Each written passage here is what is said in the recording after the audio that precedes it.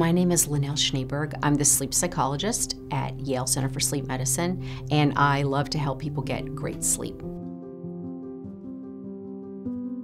I think the two foundational pieces are having a really consistent sleep schedule and having a way to turn off what we call busy brain at night. Everybody knows what that is, right? So, a way to quiet your mind as you're going to sleep and if you wake up at night as well.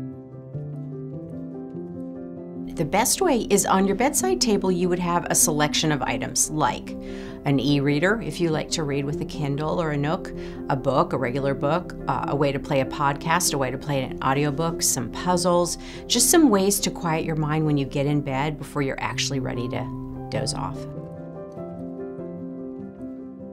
Having a consistent rise time is actually more important than having a consistent bedtime, and I'll say why. Your body pays a lot of attention to what time you actually get out of the bed and start your day, and then it starts this countdown clock right, to what your bedtime should be. So having a more consistent rise time is just definitely a better way to be a good sleeper. You can't really control what time exactly you fall asleep, but you can control what time you wake up. And to entrain, that's the word we use. You've all heard of circadian rhythm. And so to entrain a good circadian rhythm, there are five things that make you feel awake. And we all sort of know what they are, but I'm going to summarize them. Having a little cup of caffeine or tea can wake you up. Sunlight exposure is a really big one. So, a lot of people recommend two to five minutes outdoors with real sunlight after rising. And you know, in the winter in Connecticut, you can bundle up a little bit and take your tea outside for a couple minutes. Um, having a bit of food, so having your breakfast. It doesn't have to be a big breakfast. Any food coming down the chute tells your stomach it's time to wake up, and your stomach has a clock that tells your brain it's time to wake up. And then activity of any kind. Could be a stretch, could be a walk to the mailbox, could be letting the dog out, taking a walk around the yard, anything. And then the last one would be social interaction. So just interacting with someone in any kind of a way. Those five things really help people feel more alert and awake.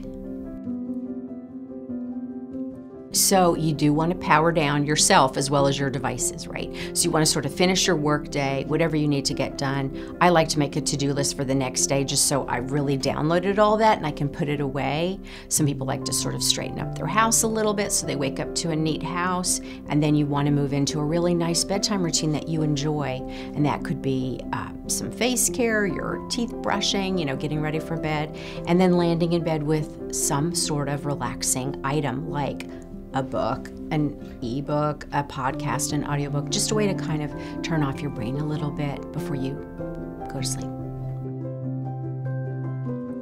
You want your bedroom to be quiet, cool, and dark.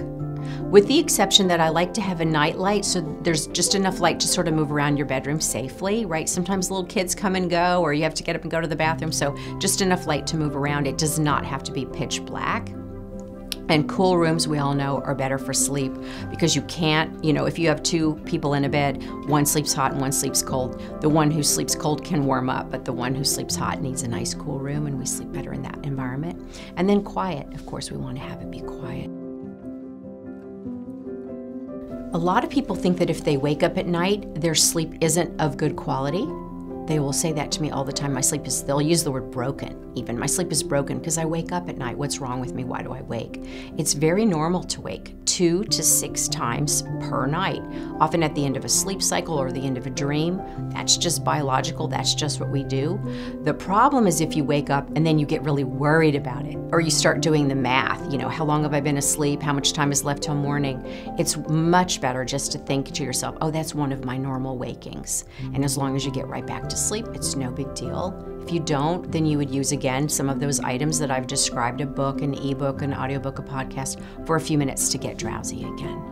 If we don't do that, sometimes we start downloading the next day's to do list or our worries, that sort of thing. So it's nice to have something to sort of distract yourself until you're drowsy again. So, the two most important things to keep in mind always for sleep are having a really consistent schedule, especially in terms of your rise time, and to have a way to quiet your busy brain either at bedtime when you're trying to fall asleep or to get back to sleep in the middle of the night.